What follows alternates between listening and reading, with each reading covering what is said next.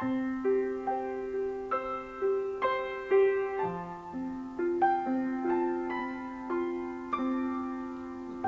do tigers dream of when they take a little tiger snooze? Do they dream of mauling zebras or Halle Berry in her Catwoman suit?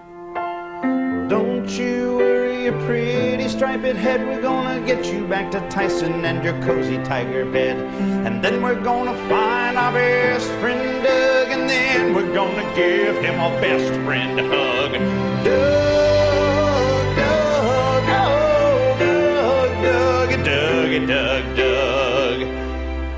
But if he's been murdered by crystal meth tweakers, well, then we're shit out of luck.